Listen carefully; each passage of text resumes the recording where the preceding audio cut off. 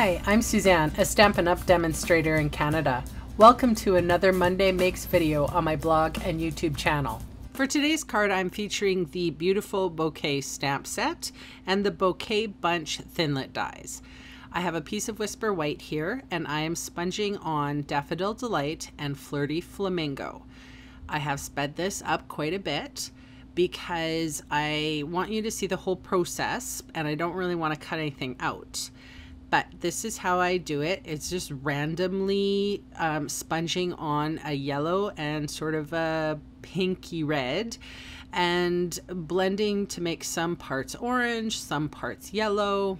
And I'm doing top and bottom uh, the top with Lemon Lime Twist, the bottom with Tranquil Tide, and then sort of blending them in together. So this is, um, I'm not too worried about blending too much. It doesn't have to be perfect because these are going to be splashed with water and then die cut. So that is exactly what I'm doing here. You, I'm splashing some water. You can't really see it until I pick the cardstock up and put it on a hardboard to um, dry it with my heat gun.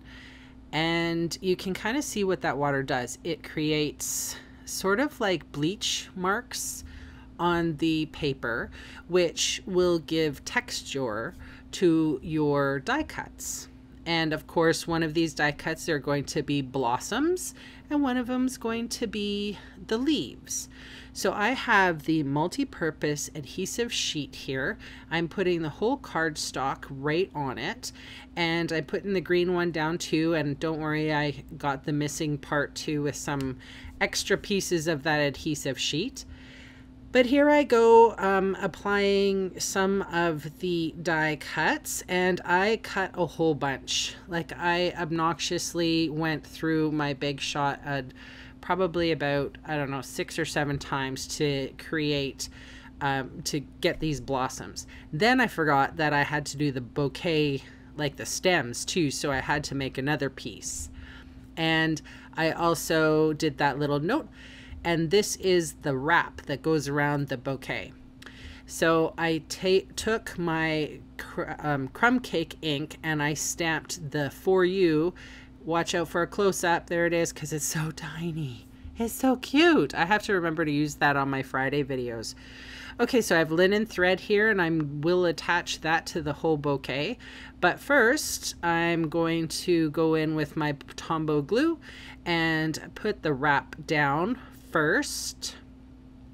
And then I'm going to tie the For You and linen thread around with a cutesy little bow. And then I'm applying glue all over the back, being careful not to, um, you know, have any ooze out. But the bouquet is going to go on top of that. So I'm not too worried if anything gets oozed out on the top. Just on the bottom, I wanted to be careful and patted that down and adhered that into place. So now comes the fun part, uh, adhering all the blossoms.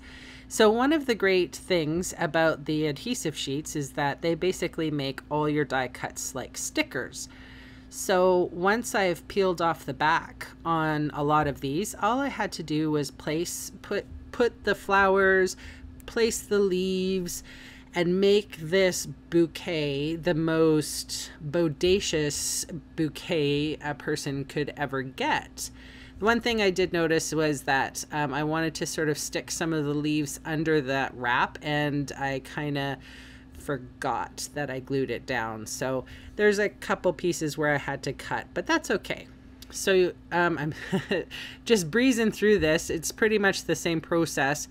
It was so much fun when I first saw this stamp set, I was like, huh, maybe, maybe not. I'm so glad that I got that and the die cuts because one without the other just, it doesn't cut it.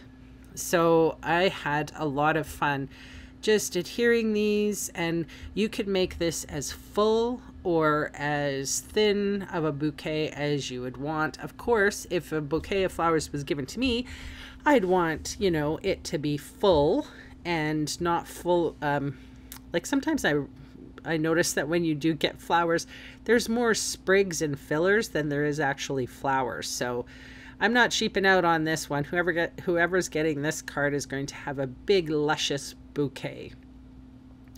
And you can see how the inking by sponging that has created a real variation in color for those blossoms. Okay, so then I'm adhering just a little bit of black fast fuse to the back and then I'm placing that on a piece of Lemon Lime Twist, favorite cardstock ink color. Here is a little trick. This is called an adhesive remover and if you ever get sort of like cracked paper, you just run your adhesive remover along it and there you go. You don't have that weird, you know, cracked paper on the top. Little tip there. Okay, so I have stamped with my Memento Black the sentiment. I couldn't have picked a better friend than you. I used my stitched square, well, stick shape, stitched shape framelits in the square variety for the sentiment. And then I adhered that to a just, uh, I cut down a little piece of lemon lime twist, added some dimensionals on the back. And that is my card for today. Sorry for taking up so much of your time. Uh, love having you here, and I'll talk to you soon. Bye.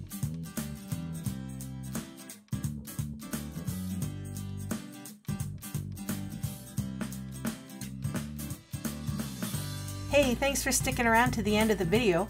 On screen are two more videos for inspiration. Click on the maple leaf to visit my website, or click on me to subscribe to my channel. Thanks again for watching.